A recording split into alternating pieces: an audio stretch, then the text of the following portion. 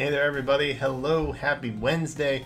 Uh, it is not only my birthday, it is the beginning of a new uh, Dragalia Lost event. So, we're going to be talking about that a little bit uh, right here, right now. Um, and if you also happen to play Fire Emblem Heroes, there is a giveaway going on in the description, so you can check. You should check that out. Uh, but first and foremost, we got to talk about this. Uh, we got an update last night, I think, probably around 11 or so. Uh, oh, sorry, 1 a.m. we got this at 1 a.m. So it was it was a fresh start day uh, kind of notification, and it's from uh, Matsura, and uh, you know they're they're thanking us for playing, but they're going to be talking about uh, a wish to the winds and uh, another event that we have going on. The wish to the winds is going to begin very very soon tonight, I think, or technically tomorrow morning for you East Coasters such as myself. I'm not Pacific time. That's like 2 a.m. my time, so that's not going to be me. Um, but they're gonna they give us a little bit of notifications on what's coming up uh, for Dragalia Lost in the near future. So let's go over that, shall we? So we have November 14th, 2300 Pacific time, 2 a.m. Eastern. Uh, the showcase of Winds of Hope, as well as the facility event A Wish to the Winds, will start. So a facility event is kind of like the Halloween event that we had. You get like this little, uh, uh, I, I, like like it was it was like a, a, candy house last time that helped power up your, your light adventurers, and so this is this is probably something similar to that where we have uh, the wind instead because there's a wind showcase, so we need wind heroes. Um, yeah, I'll talk about that in just a second. But uh, they will be introducing new wind element adventures, dragons, and Wyrmprints. Some of those Wyrmprints will be of particular use in the upcoming facility event. Sweet. So uh, that, that's your big indication that you, you're going to want some of these if you plan on getting through uh, the raid or the facility or, or what have you. Uh, the facility event will see our heroes happen upon a sister and brother named Louise and Lowen. Uh, meeting this pair is when the adventure begins. Sweet. Uh, building the Wind Shrine, this event's special facility, will increase the damage you deal to enemies within the quests related to this event, so leveling it up will prove very helpful. Additionally, the extra quests this time around will have been updated to allow for co-op play. Yes, that is what I was waiting for, honestly. Um, the fact that they took that away from the Halloween event really kind of like bummed everybody out. everybody in my community at least was like, this is this isn't as exciting. Um, and you know, you just kind of had to grind through it on your own, which is dumb. it's just dumb. Um, I don't know why we wouldn't have, you know, the the extra options of of being co-op, but now they are, and so life is good. Um, like I said, I feel like I feel like eh, for for mobile games at least, Nintendo typically listens to, uh, you know, the developers typically listen to the community, and I feel like that was a big groan on everybody's part. Nobody was super happy about that. Nobody that I talked to was happy about it. Uh, so there we have the art for A Wish to the Winds. That's the event, and then the Summon Showcase, which is Winds of Hope. Um, I will definitely be summoning on that, because I don't know if you guys noticed. Uh, that's my win team. It's not great. uh, my my overall might is going to be capped very very low just because of you know the level of that I have, and uh, I'm very I'm very apprehensive to spend a whole lot of uh, of, of, of Wyrmite or uh, or Eldwater to, to upgrade things, but I have like 10,000 Wyrmite, so I'm gonna be summoning on this for sure. I don't I don't have any. I have no five star wind units. Uh, Ranzal is probably my strongest, next to I honestly don't don't even know. I literally do not know. Um, so either way, I will be summoning for sure. I might actually do a video of it since I'm going to be summoning. Uh, so I guess maybe keep keep on the lookout if you're interested in seeing that. I'm not a huge fan of the odds in summoning on Dragalia Lost, but I'll try and get some kind of wind hero that will be helpful. uh, the other events I can typically kind of like eke through because you get a free unit with the raids, so yeah. Uh, these, not so much. So aside from that, the winter login bonus will begin on November 17th. We actually have a free tenfold coming up, and I, I believe that is it. Uh, so we should be getting a new, uh, or a free tenfold summon very, very soon, which is very, very handy, obviously, especially with a new showcase. Uh, after this, the next raid event, Resplendent Refrain, that's fun, is scheduled to start at the end of November. So it seems like we have two of these events every month so far. Like that, that seems to kind of be the trend. We have a raid event, um, and then we have a facility event. Uh, facility event usually being, you know, closer to the beginning, I guess, technically. No? Uh, actually, no. Yeah, sure, why not? Uh, either way, uh, we get about one one every two weeks. There's like a new event popping up. It seems like.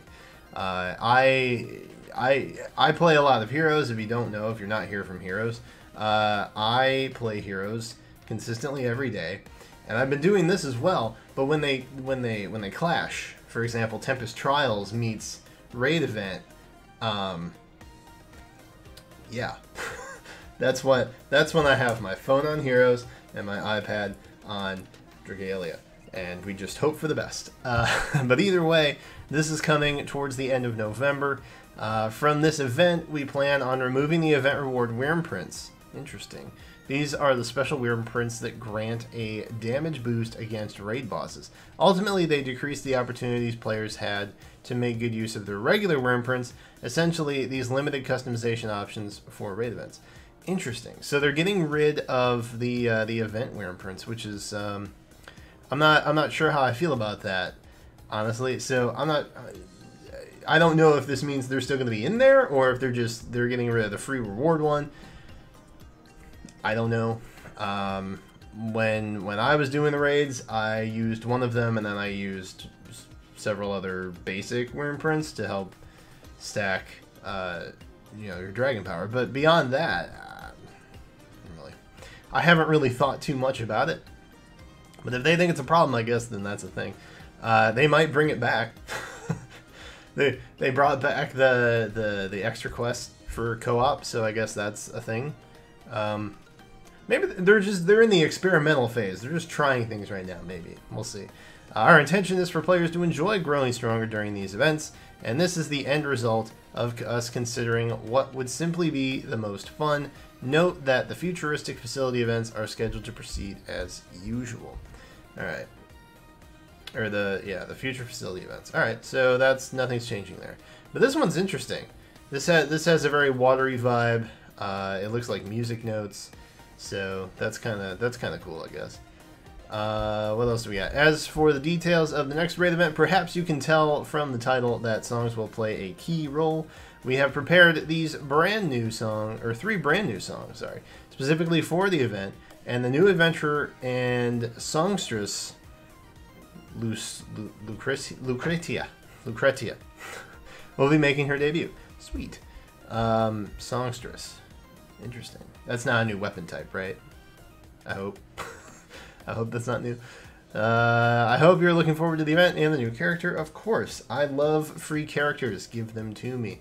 Uh, in today's 1.1.5 update, we've improved the AI of your team members. They will now more actively attack enemies and will use skills more frequently. Uh, great. This should make clearing quests a little bit easier. Can they not run into like spikes and flame walls? Like, I know we had a lot of progress in terms of now they hit treasure chests, right? Now, now they function more aggressively. Great. Can we not just run into obstacles, please? That's all I'm. That's all I want, man. There's a flame wall and then I just run right into it, or like spikes are just standing there, and I just roll into it, and then I, yeah, it's it's a problem. I, AI is not so smart. Just saying. Um, additionally, enemies in Avenue to Power will no longer create barriers. Please check the notices you've received concerning the update for details. Nice. That's always super annoying. Honestly, the barriers in in uh, Avenue of Power is, is super annoying. Uh, adjustments to rupees, manas, and crystals. Okay, so we heard about this a little bit a while ago, um, and said we'd be getting an update on it. We've noticed that many new players are becoming stuck due to lack of upgrade resources. For that reason, we will be increasing the amount of mana, crystals, and Eldwater you can get from daily endeavors and login bonuses. Nice. We've uh, we've announced this information via the maintenance notice. Cool. Uh, so that's coming up. That's awesome. I like that. So they're not dropping the uh, the requirement; they're just giving it more, which I guess is okay. Uh, we've also seen that those playing the game a lot do not have enough rupees to craft all the weapons they want. To address this, we plan on increasing the amount of rupees produced by the rupee mines. Dope. I don't ever really get caught because that like I'm I'm a semi-experienced player in in terms of games like these, so I know you always build up your resource production first. That is rule number one. If you don't want to get stuck late game, you definitely want to build a good foundation. Uh, so that was that was one of the things I did initially. So I haven't really noticed this problem, but unless you really really focus on your castle, I, I guess that could that could become a problem pretty easily. I, I would imagine. Uh, we also plan to increase the amount of rupees and crystals you can get from Avenue to Fortune and Avenue to Power, and also add a master difficulty to these quests. Oh, nice! That's actually really cool. I was wondering why there wasn't a master difficulty before um, because like literally all the other quest options had that. Um, but I like this. I like this. This is this is good. These are good adjustments. I like this. Acquiring resources. Um, to be able to convert resources into high tier resources. Advanced players will be able to convert their high extra their extra high tier resources into low tier resources. Maybe. Okay, so you can you can swap stuff now. Uh, we plan to include orbs of each element, various dragon scales, as well as crafting resources in the shop's treasure trade. So uh, I don't really use that all that often, but I guess having the option is always nice, so I'm glad they're doing that. Uh, the weapon type adjustments, oh my goodness. We want to improve certain weapon types, specifically the bow, uh, the bow, the bow, the bow and lance. Uh, the idea behind the bow is sharpshooting from a distance, naturally. Uh, we're going to reduce time between firing a force strike and when it actually lands. That's good. The lance, the idea is mid-range attacks. So normal attacks do not launch enemies. That's good. Kind of defeats the purpose of mid-range if you're like knocking your enemy back constantly. Um, these adjustments will not result in any visual changes, but they are directly connected to the gameplay experience. We hope these adjustments make using bows and lances more fun for everybody. You know, I, I recently started using axe like the axe weapon, and I, am a I'm a fan. I like the flow of it. Um, I was I was a Xander main, but I think the next five star axe I get, I'm, I'm probably gonna main that. Um, please note these things do not turn out exactly as described here once the updates are all said and done, but whatever form the update takes, we are always striving to improve the experience. Like I said, they're trying stuff out. They're just trying to, to figure some stuff out. Good lord, this is a long update. Uh, adding new quests. When comparing Dragon Trials Master and Imperial Onslaught with Advanced Dragon Trials, uh, there is a distinct gap in difficulty. Okay. We feel that there is not enough content to bridge that gap, so we are planning new content to fill it. Great job, Dragalia team. Uh, we hope to make assembling teams fun by, for example, increasing the weapons that you can craft. Oh god, more options. I was already overwhelmed. Uh, we can't say much more about this at the moment, however. Uh, we're developing, ooh, we're delivering chapter 7 of the main story at the end of the year. Uh, Fairies, the second heir, appears in the new chapter, and some light is shed upon certain characters' backstory. Just give me Zethia, please.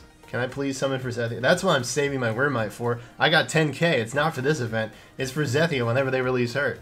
Uh, aside from this, it's like it looks like the more uh, more and more people are clearing High Midgar uh, trial, which means next up will be another High Dragon. I haven't done that. I don't know who's doing all this, but I have not done that. We're planning to kick off mid-December, so be sure to keep an eye out for that. Uh, what do you think about the first part of what's ahead? Blah, blah, blah. Uh, development team's passion and our dedication to the game. Thank you for playing. Well, great. Thank you, Director Matsura. I appreciate you, man.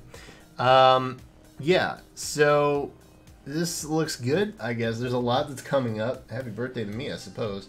Um, like I said, I will be summoning on this event. Because? Because I kinda gotta. Um, but, you know, beyond that, I guess in the comments, let me know what you guys think about the updates that are coming. Um, I am pretty excited for it. I guess technically, uh, I wanted I wanted a new event that kind of put me outside my comfort zone because I felt very at home regarding uh, the light event and um, even even Fragonoth and this one, like I felt pretty okay because I had um, I already had characters that were strong enough to kind of edge me through it.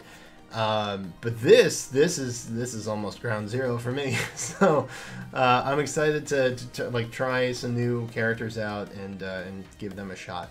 I guess. So let me know in the comments what you guys think about all the updates that are coming our way this November. Uh, thank you guys so much for watching, and I will catch you next time.